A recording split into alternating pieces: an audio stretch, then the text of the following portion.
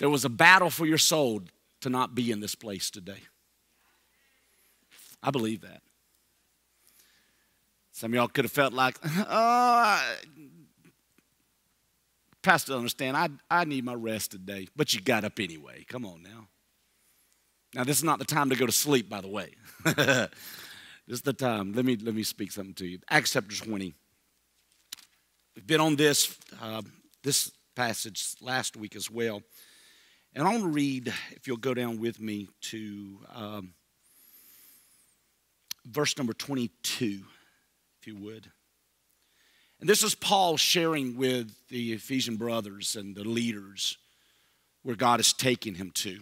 We've talked about living your life for maximum impact. And Paul has shared some phenomenal things in this passage. And I'm on last week, uh, if you missed last week, you need to see it. Um, get the video, uh, watch it on uh, YouTube. And we do welcome everybody watching by live stream this morning. Paul's heart was that not only he, but also his life would be an impact, so others' lives would be impact on people's hearts and people's lives for people to come into the kingdom of God. And verse 22 says, And now, compelled by the Spirit, I am going to Jerusalem, not knowing what will happen to me there. I only know that in every city the Holy Spirit warns me that prison and hardships are facing me.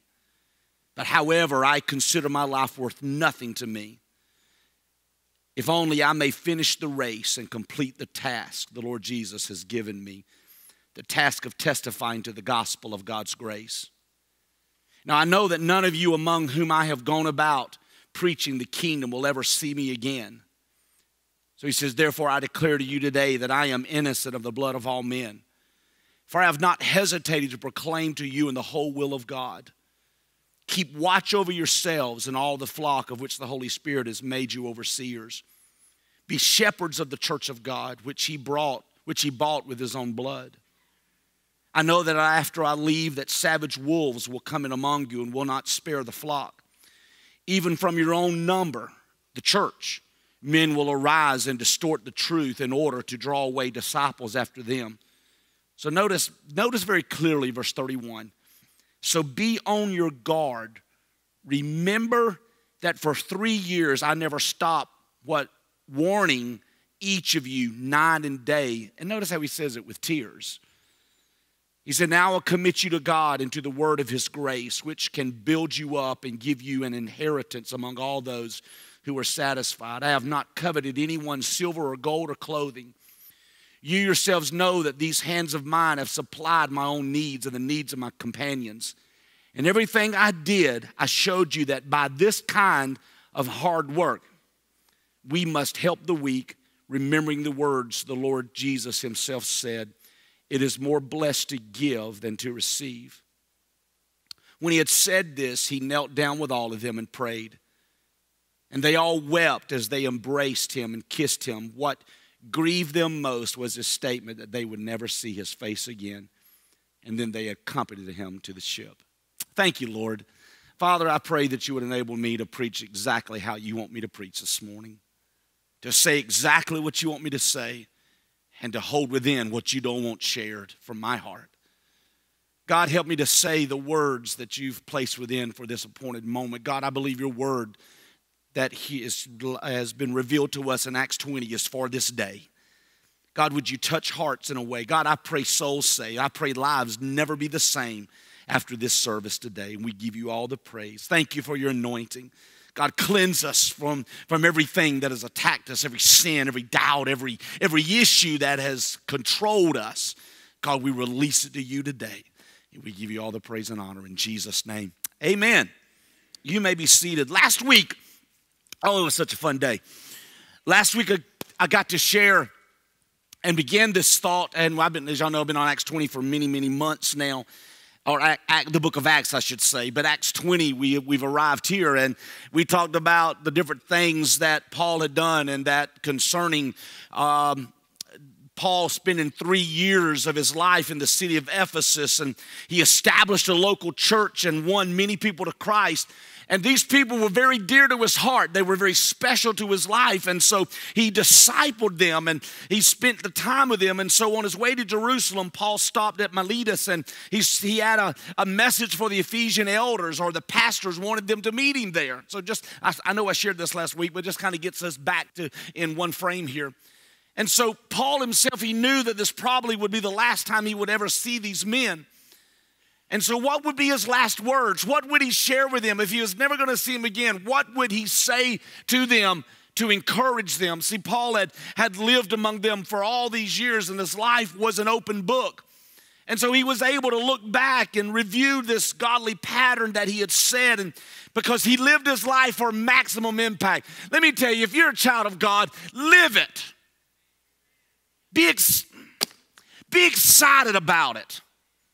If you're a child of God, give it everything you got. Now, that's a word right there. Live it with the most utmost commitment and, and hunger for more of Jesus and, and hunger to impact people's lives because that's therein why God saved us, that we might reach others with the gospel. We are His ambassadors, as Scripture says. As I shared last week, that word impact, it means having a strong effect on someone. In other words, influence. So, my question to all of us today is who are you influencing? Who is God placed in your life to have an impact on? Let me tell you, we're all influencers. Every one of us have somebody. I'm not talking about having leadership over. Leaders are not the only ones that are influencers. Every one of us are influencers because how many understand the fact we've been influenced by other people? Now, we could probably readily say some that we've been influenced by are our parents, or our uh, Sunday school teachers, or our pastors, or uh, our teachers in school. They're, they have an influence on us. Husbands influence on wives, wives influencing husbands, uh, families, parents with their kids. Influence, impact is an incredible uh, opportunity of God to, to influence in the right way. I mean, you know, Scripture does say, as a man thinks in his heart, what? So I ask you, what's coming out of you? Because one way or the other, you're going to influence either for the good or the bad. What's coming out? So, out of this scripture, we see several things that Paul put on a level that would change people's lives. And one of those things was to be an encourager. And we talked about that last week, encouraging people. How many's been encouraged this week? Amen. How many has encouraged this week? Amen. We were in uh, Publix this past week, and um, this particular uh, young lady. To be honest with you, I cannot say that I remembered every time that I've gone in there and I've seen her. And uh, so we walked, Cheryl and I, we walked into a checkout line, and, and she said, I've seen you, but I've not seen you to my wife. And, she's, and she was just bubbly. She was excited. And she said, and she was a talker, and she says it about it. I can't remember exactly how she put it. But she was just talking, and, and you know, I thought about what I preached just, just previously on that, on last Sunday about being an encourager. And uh, it doesn't take much to encourage. Come on now. It doesn't take much to encourage. It doesn't take long to encourage somebody. I get it. We get in our own little world. We want to get out of there. We want to get out of Walmart and we want to get out of whatever. We want to get out of church. We want to dart straight to our cars. We don't want to talk to anybody sometimes.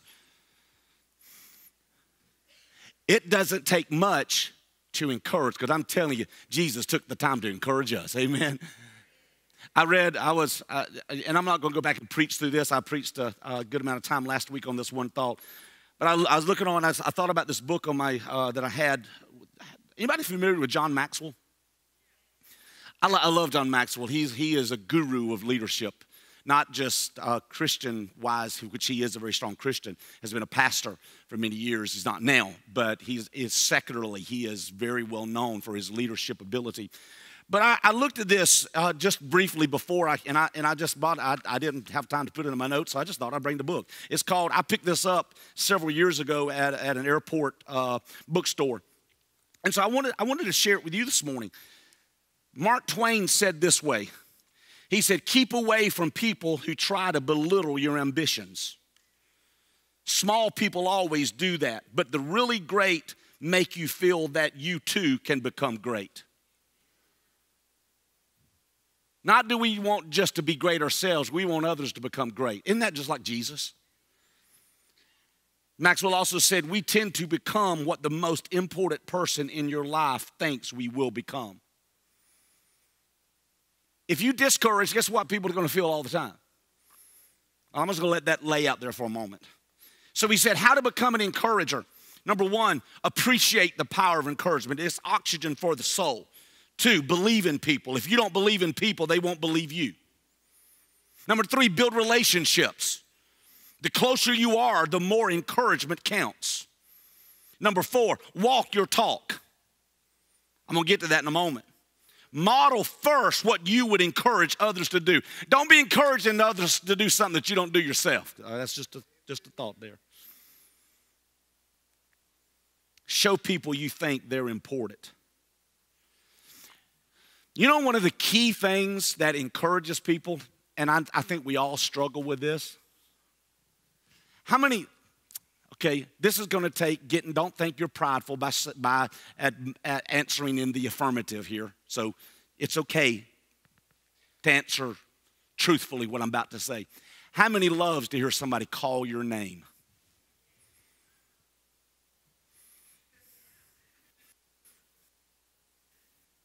How many would rather be called by your name than somebody than a name that's not your name?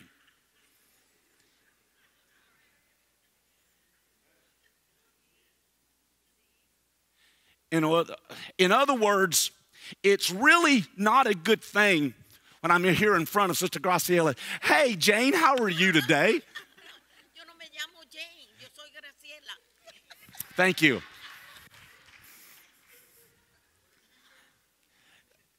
What she said. Basically, said her, her number, say it.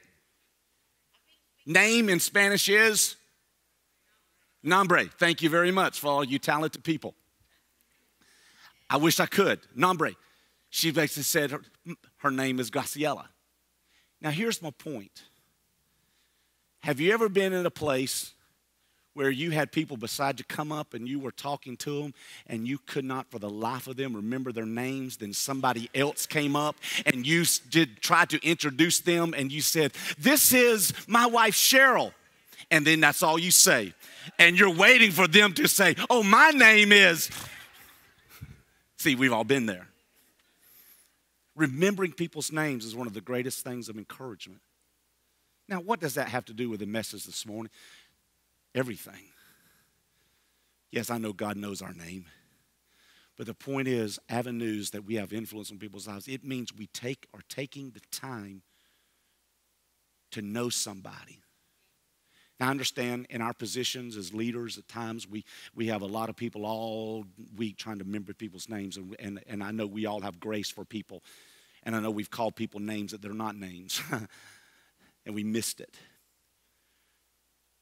Maxwell said it this way he said, he said, show people you think they're important, remember their names, and ask for help. And lastly, give people a reputation to uphold. People rise to our level of expectations. The best way to cheer, the best way to cheer yourself up is to cheer everybody else up. You want to be encouraged? Then encourage somebody else. Amen? That's good stuff. That's just good stuff. And so that's one of the areas that, as Paul said in verse number, chapter number 20, verse 1, he encouraged them. Verse number 1, he said, Paul sent for his disciples, and after encouraging them, folks, encouraging each other in the Lord. And sometimes you got to encourage yourself in the Lord. When there's no one else, there's no excuse, we encourage ourselves in the Lord. Paul, the writer to Hebrews says, See to it, brothers and sisters, that none of you has a sinful, unbelieving heart that turns away from the sinful God, but encourage one another daily, as long as it is called today, so that none of you may be hardened by sin's deceitfulness. So, what I get from that is that my encouragement can keep people from indulging in the deceitfulness of sin. And I'm saying on an ongoing basis, encouraging them. So one of them is, is encourage others. Secondly, we talked about be committed to the church.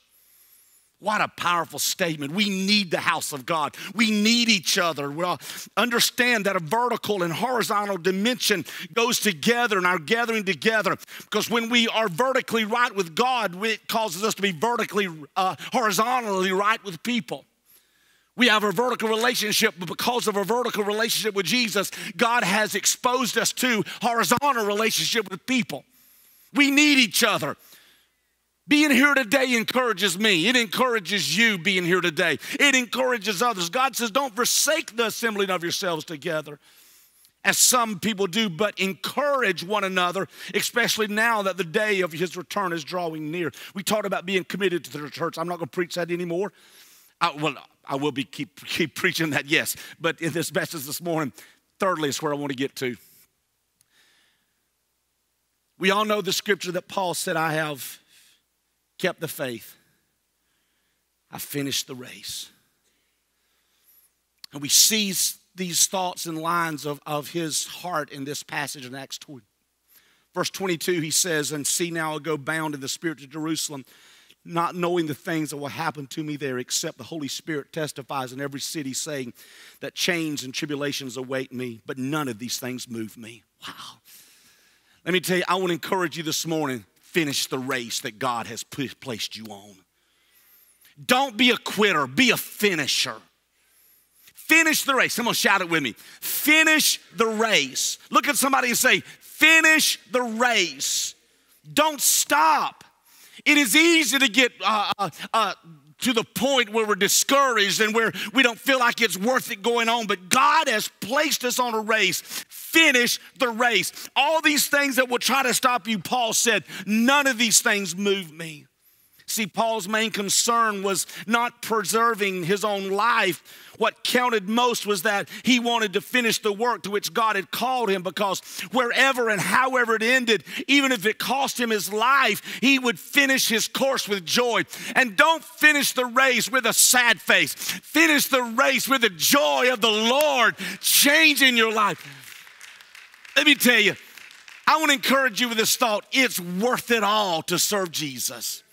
It's worth it all to keep on. As someone said years ago, keep on keeping on. Don't give up.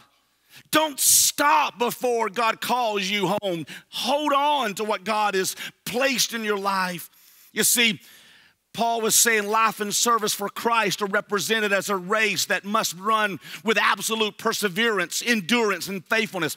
And I want to take you to three scriptures if you'll go with me. And I'm going, I'm to first invite you to go with me to 1 Corinthians 9 24. Paul shares something very strong here. 1 Corinthians 9 24. Would you look there with me? It says, Do you not know that in a race, all the runners, everyone, they run? But only one gets the prize. Run in such a way as to get the prize. It's kind of like how many played baseball or softball in high school or whatever? You know, or you watch them playing on TV. You know, the coach would say, run it out. Even if you had a ground ball and they were going to throw you out, don't just stop running halfway down. Run it out to first base. Run it with everything you got. Let me tell you, it may look bad, it may look like you're gonna be thrown out, but run it out. God's got a plan for your life. Finish the race. Don't give up.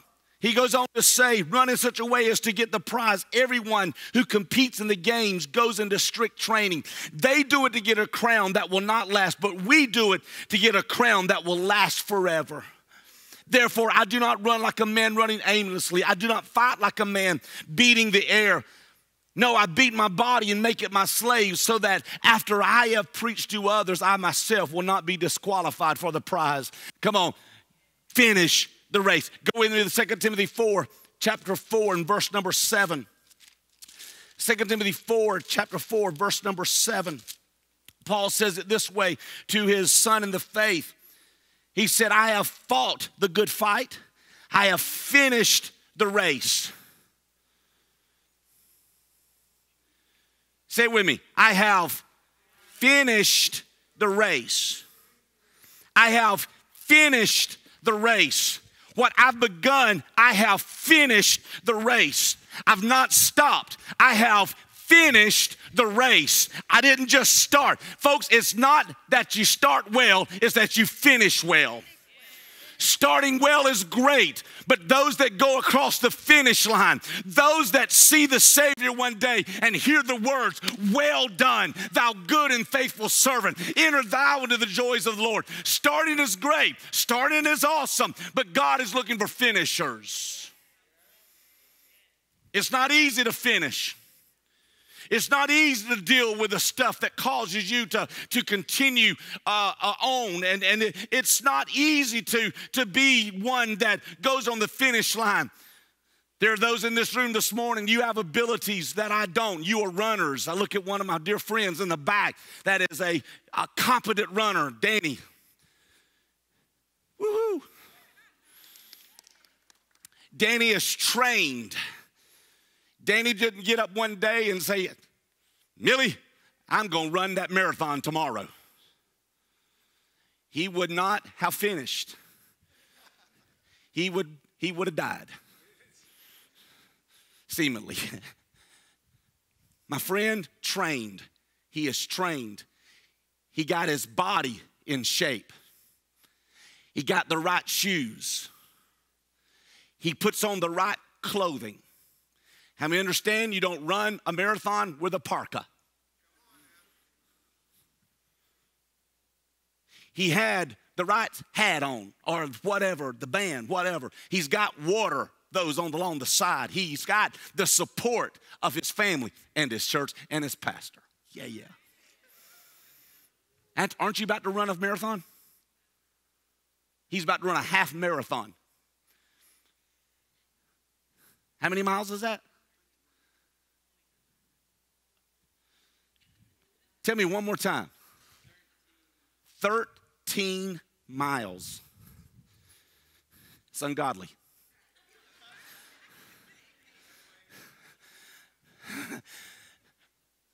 God didn't call me to run that race. I'll run something else, but God didn't call me to run that race. But my brother has trained. I have seen his body change. He's lost an incredible amount of weight preparing. He has, I have heard and have seen God did a miracle, a physical miracle in him, breathing in his lungs to be able to run that race. Let me tell you, number one, if there's a determination to do something, then you back it up. You know, I can be determined all day long, but if I've got to have the, the stamina and the hunger to do something, if you're hungering to see Jesus one day, then you've got to have the stamina to keep going on. You've got to make the decision I'm not going to stop when I run out of that first steam. Danny just kept running. He's going to keep running that marathon. And he don't just start. Him and, and I know uh, Manuel has done it too. They've run the, the bridge. Let me tell you, that's an ungodly bridge. You know what I did? I, I promise you this. I did it. No, I did not run. No, I didn't know. I tell y'all, I'd, I'd, I'd tell you, I ran the bridge. I, I'd tell you. No, I, I took my bike out there. This has been years ago. God delivered me I had never done it again. I tried to ride my bike up that bridge. I got that puppy out. I got off that thing and I walked it up there because it was killer. I'll get on my treadmill and run low. I no, I walk low. Thank you very much. Here's my point. He trained. If you want to make it to the end, there's some things that you've got to go through to be able to get to the end. You've got to be able to face temptations. You've got to be able to face discouragement. You've got to be able to face trials that hit you. You've got to be able to face the onslaught of the demonic. You've got to be able to face some things that's going to try to trip you up. That's why Paul later says, be on your guard. You've got to be able to have the attitude that says, no matter what devil may say, no matter what anything else may happen, I've got my prize ready for me because I'm going to finish the race. Finishers are those that keep the prize in mind.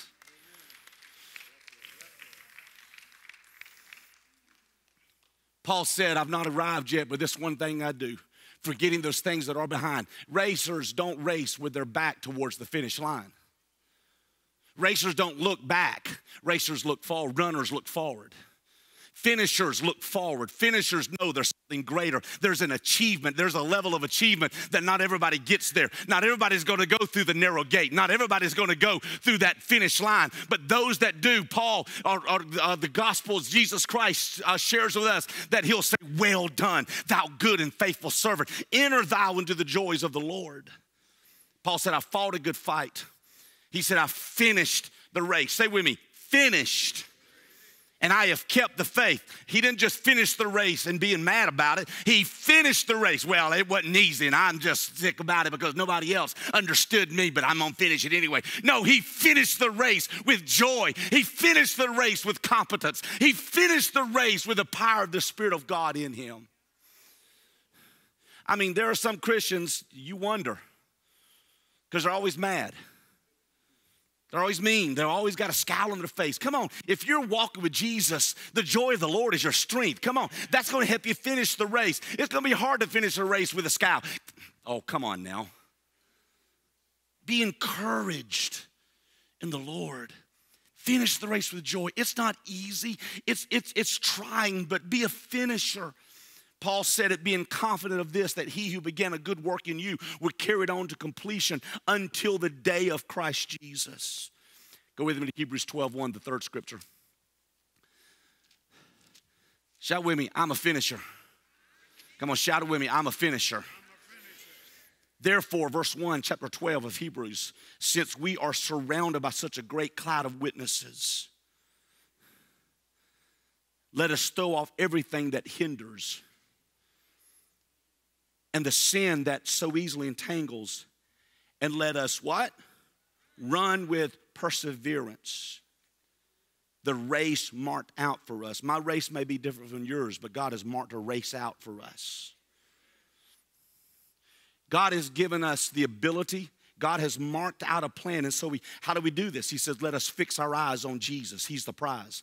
He's the author and the finisher or perfecter of our faith, who for the joy set before him endured the cross, scorning its shame, and then he sat down at the right hand of the throne of God. And consider him who endured such opposition from sinful men. But God says, Paul said through the anointing of the Spirit of God, he said, there's a cloud of people, witnesses already in the glories of heaven, and they're shouting out praise. They're shouting out, they're shouting out Holy Ghost encouragement. They're, they are witnesses of what we're going through you know, we're not in the church there yet, heaven wise, that we're in the glories of heaven. But isn't it awesome what we should be? We should be just like those witnesses, cheering on our brothers and sisters in the Lord. Says, You're gonna make it. Come on, you can do it. Instead of saying, oh, I knew he'd fall. I knew he'd mess up. Come on, be a finisher. I look at Sister Alice. Choose to live. You're a finisher, lady of the Lord. You're a finisher, Bernie. You're a finisher in the house of God. We didn't just start and let little problems affect us, big problems, and say, well, now I got reason to stop. No, we're finishers. Paul said, for me to live is Christ, but to die is gain. He said, I'm a finisher. Every person should aim to finish strong. We got to per- persevere because confidence will be rewarded, obedience will be recognized, shrinking back will be regretted, and Christ's return will be celebrated. So, our journey, it's not a sprint, it is a marathon, and we've got to pace ourselves and endure to the end. Let me tell you, finishing strong does not just happen. There's a finish line, and God says, But he who stands firm to the end will be saved. You got to stand firm. You got to finish this race. And it's not how you start, it's how you finish.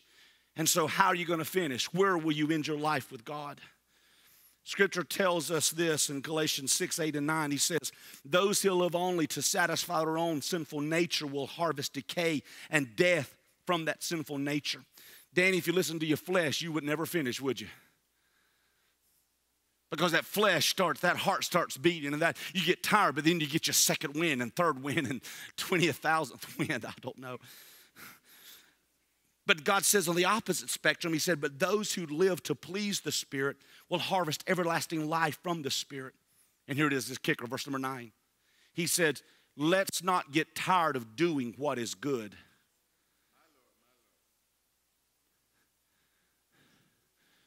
Let's not get tired of doing what is good. The writer said in the King James Version, Don't be weary in well doing. Don't get tired of doing the right stuff.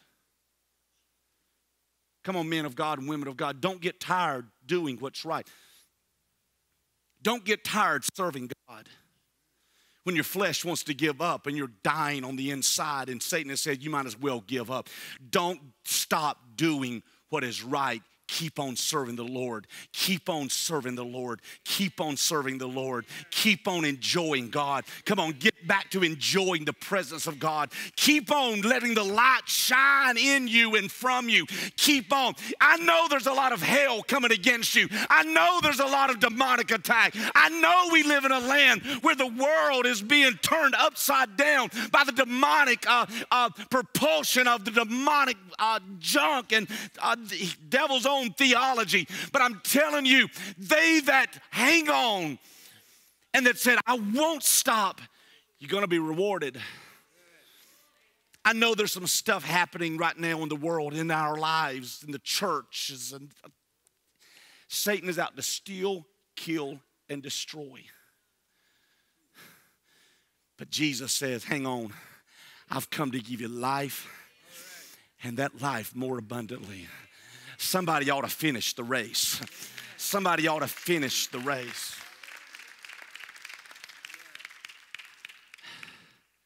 He says, because at just the right time, we'll reap a harvest of blessing if we don't give up.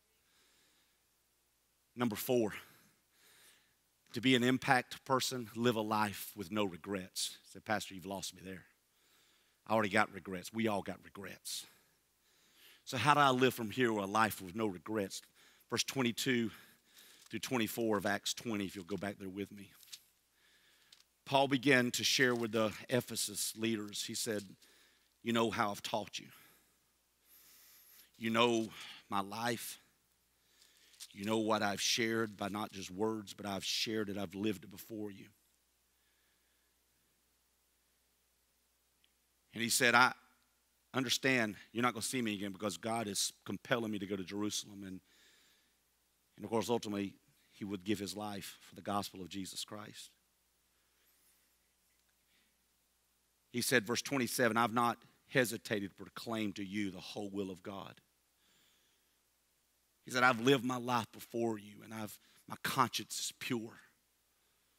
Basically saying I have no regrets. I've done what God called me to do. He said, verse 24, I consider my life worth nothing to me if only I may finish the race and complete the task the Lord Jesus has given me the task of testifying to the gospel of God's grace. Key words there is the task of testifying to the gospel of God's grace. Everybody in this room, I want you to hear this, Pastor, this morning. Everybody in this room that are children of the Most High God, sons and daughters of God, God has given you the task of testifying to the grace of God. Let me say it again. Everybody in this room, everybody has been given the task of testifying to the grace of God. So, Paul committed his life to Christ and often found himself doing things that didn't make a lot of sense to the natural mind. But he did it anyway. Why go back to Jerusalem when he knew that many of the Jews there wanted him dead? Because verse 22 says he was compelled by the Spirit. He was compelled, pushed on by the Spirit of God. Question is today how well do you like venturing into the unknown? Most of us get rather comfortable in our routines of life and don't welcome the surprises that pop up along the way. And, honey, I'm telling you, there's a lot of surprises along the way. Question is, are you committed to following Jesus? Are you willing to part with your plans and the things you rely on for security in order to really follow the Lord? If not, you may pile up some regrets along the way. Let me tell you, one of the greatest regrets, I know we all have sin regrets. We wish we had not done these things, but I'm talking about spiritual regrets that we did not do what God called us to do.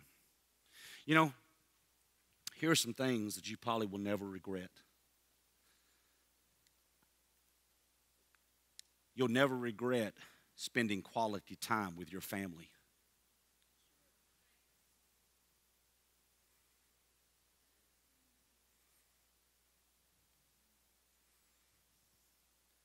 You'll never regret quality time in prayer and reading your Bible.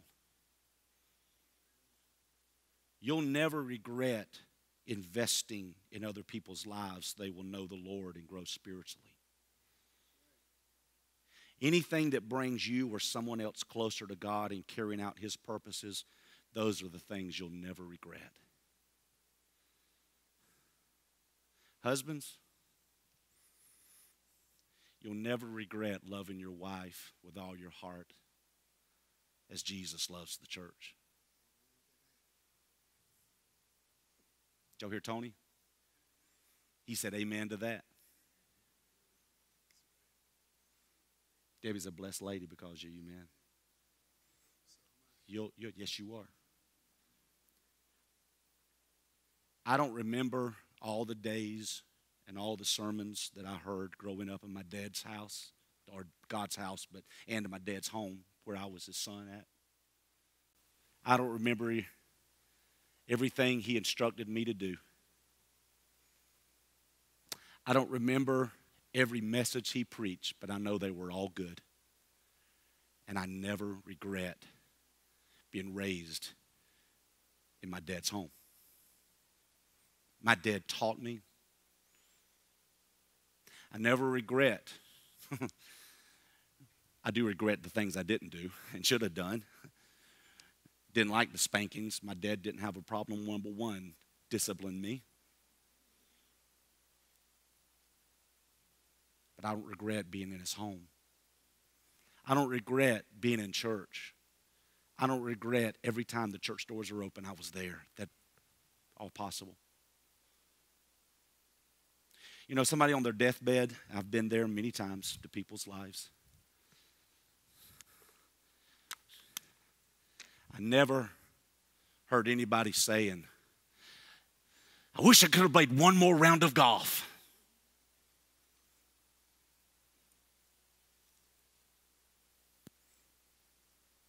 Most people wish they could have done more for Jesus.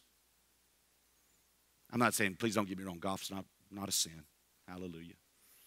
It's a sin the way I play.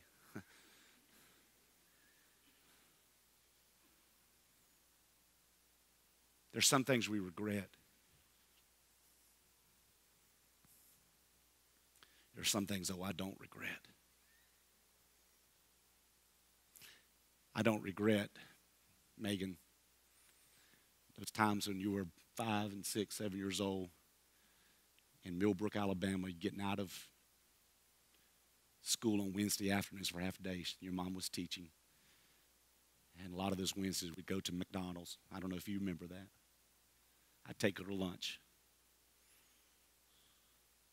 I don't regret those times with my son taking him on the school trips. I remember one trip I got to take with him. We went out to the camp St. Christopher. One point of the trip, we had mud all over us. But I got to spend time with my son.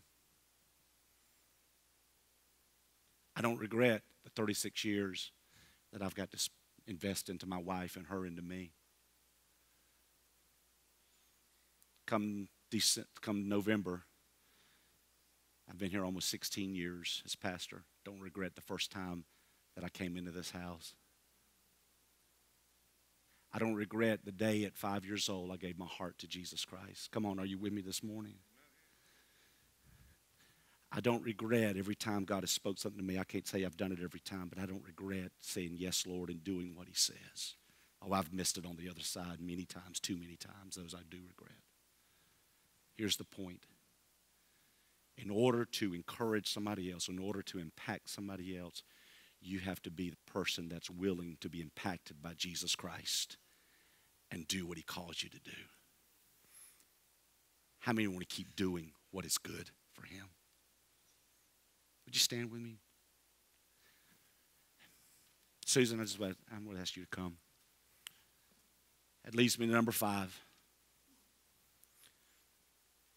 Sometimes, not just sometimes, has anybody ever spoke truth into you at times that you didn't really like, but it helped you? Yeah, I've had that many times.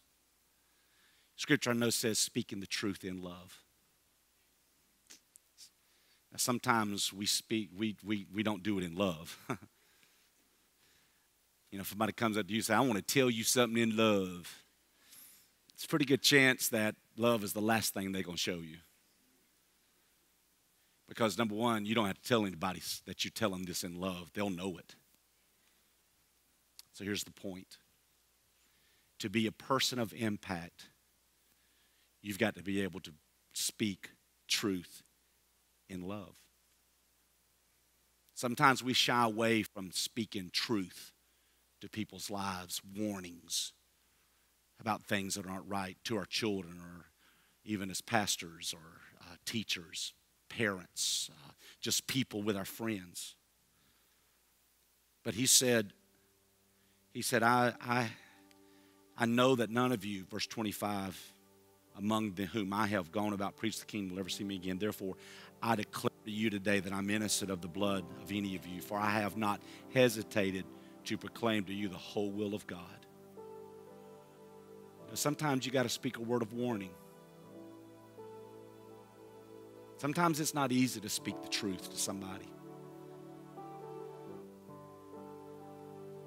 And that doesn't mean you go out and find all untruth and of what people's doing wrong and then just slam them with the gospel and say you're wrong. You know, that's no. You got to have you got to have the, the anointing of the Spirit of God. There's sometimes you got to speak. Sometimes you got to just keep your mouth closed. And we learn that. That's when you're dealing with people. Everybody okay? And it's good. But there's sometimes I've had it happen to me. God has set me right when I've had dear friends. I'm thinking of one, one example right now from in a previous church. God set me straight through one of my dear friends. Oh, I cried. I knew I was wrong. And even to this day, there are things that God has spoke to me through other people. Corrections Are we willing to be corrected? Pride's a pride's a devil mountain, isn't it? We get that pride level and we, we think we're beyond correction. I, I'm, I don't want to speak for you. And no, not that we're beyond it. Sometimes we, and then we, we may disagree, but then there are times that God will say, you listen.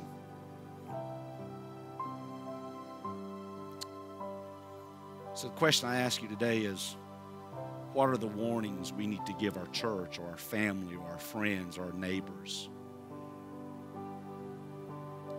No, not God has not called us to be the spiritual police, but at the same time, we need to warn people about compromises and distractions. God wants to use us. And with love, and God opens the door, we can journey with people and bring loving correction and encouragement. See, admonition and encouragement is not, not always necessarily saying that, um, hey, you look great today. Encouragement, it can also have the flavor of encouraging somebody to do good works. by saying, hey, there's some things here. Can we work together on? God didn't call Christians to be sandblasters that we blast everybody, get them cleaned up. No. Because that would kill people. That's why Paul, he had such a knack. He was truthful, but had such a way of sharing the heart of God. And at the same time, he says, watch out for pretenders. They'll try to massage the gospel and change it to gain people to themselves. Folks, we gotta we gotta encourage in the right way. And then the last one, number six, be on your guard. God said it this way. He said, verse 31, He said, So be on your guard.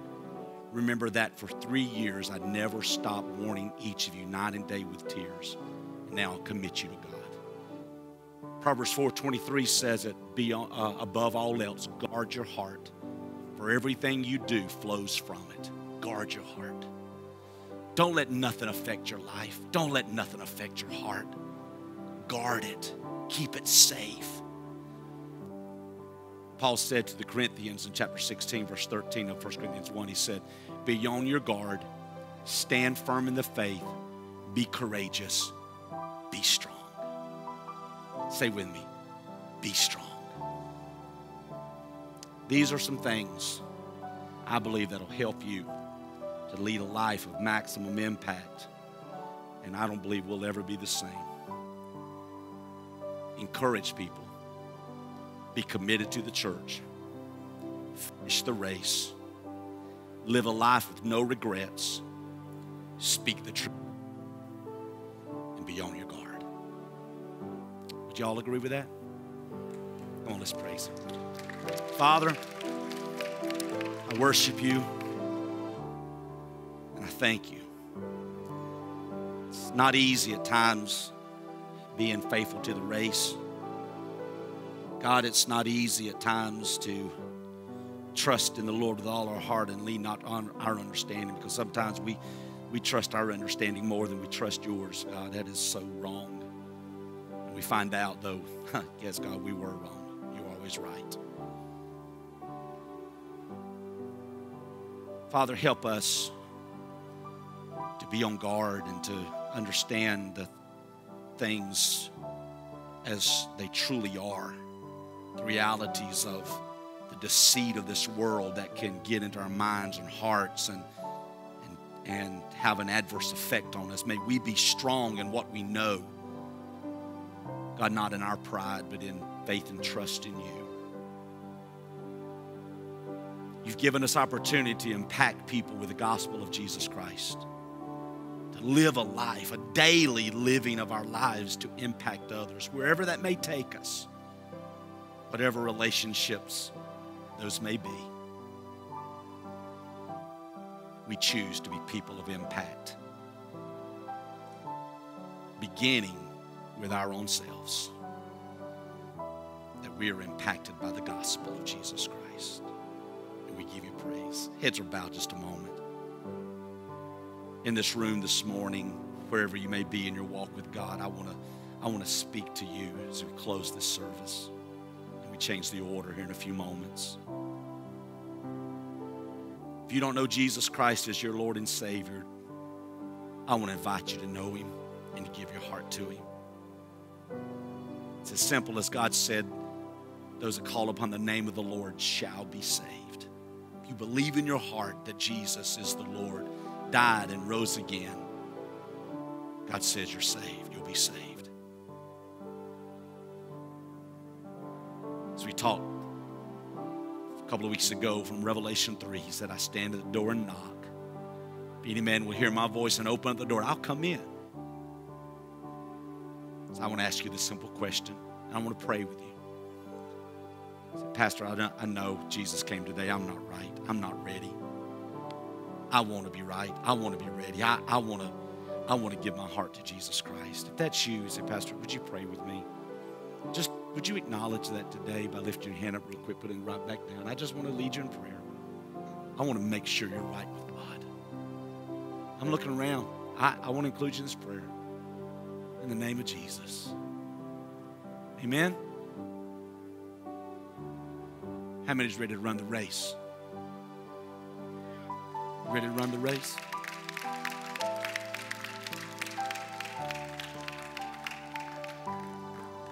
And if you see me running beside you and I'm gasping for air, Danny, stop and help me, man. Help somebody. Be an encourager. Amen.